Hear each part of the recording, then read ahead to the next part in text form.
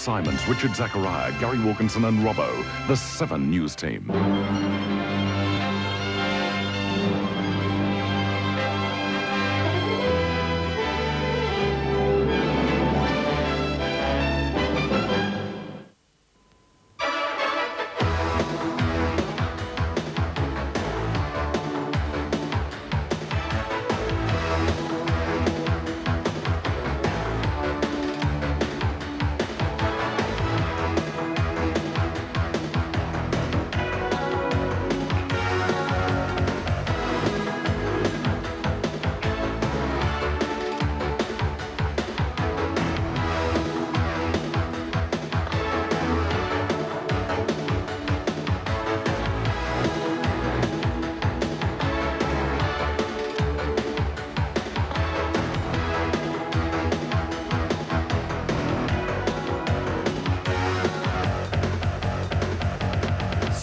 August 2nd, and today our Seven Sports team bids you welcome from hustling, bustling Sydney for the grand final of the James Hardie AMSCAR Touring Car Series.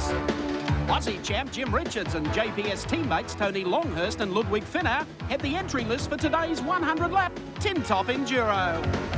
The 1.9 kilometre Amaroo Amphitheatre is one of the toughest racetracks in the nation. Its narrow and tricky off-camber corners command the highest level of concentration and above all, total respect. As always, the leading teams have been able to take time out at the nearby Park Royal Parramatta, renowned for its excellence. Amaroo Park Raceway in Sydney. We're preparing for round six of the Motorcraft Formula Ford Driver to Europe Series. An absolute crackerjack field. Nothing really between the uh, the top dozen or 15 drivers on the grid. Let's take a look at the grid. From pole position, car number 10, Jeff Walters in the Van Diemen. From 2, 27, series leader Peter Verheyen in the Van Diemen. From 3, Roger Martin in car 4, the Spectrum. Out of position 4, car 7, Richard Carter. From 5, 51, Simon Kane in the Moore. From 6, 55, Martin Carpenter in the Van Diemen. Position 7, 15, Andrew Gubb in the Elwyn. From 8, 22, Robert Bennett. From 9, 32, Brett Peters in the Ray. From 10, car 6, Wally Story in the Elwyn. Out of position 11, 24, David Roberts in the Van Diemen. And rounding off the even dozen, 12, 33, Paul Mulhern in the Elwyn. 19 drivers inside one second. Flag is up, 10 seconds to go for round six of the Motorcraft Formula Ford Driver to Europe and the Coca-Cola Bottlers Series. And racing. Away very smartly on the inside was Jeff Walters. Beautiful start. Peter Verheyen went with him. Roger Martin also off to a good start.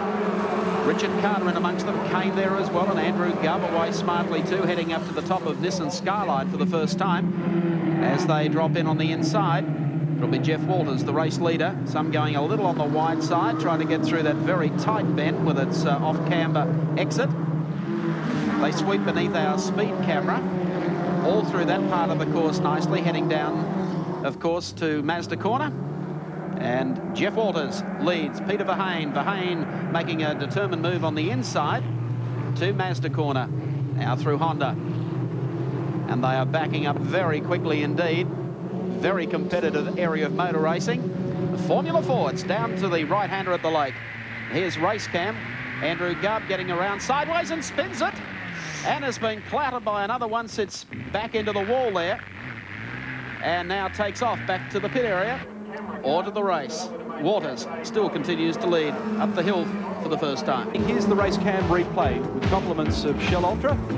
Andrew Gubb turns in, gets it all wrong as he gasses up, coming out of the corner, and clouted by one of the Lolas. Head-on confrontation. Could have been I think it was Gary Jones yes, I think it was. formerly carried our race cam. As you can see, Roger Martin, the Victorian driver, closing it up very, very uh, closely and spins it. Coming down the back straight, tries to catch it back again. There's Richard Carter on the outside, swings back on the inside. Almost uh, put across into the dirt there. An anxious moment, but at least he caught it. Formula Ford drivers all must have gone to some spin school because David Roberts did that at Oran Park a couple of weeks ago and got out of it, grabbed a gear, Let's recap that again. Here's Roger Martin.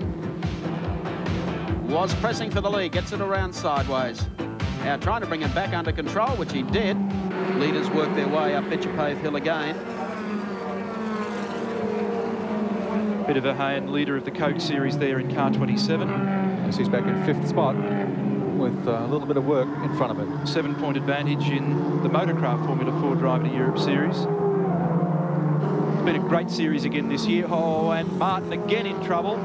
Same part of the road, virtually. And it's diabolical if you get any tiny little bit of rubber up on those ripple strips on the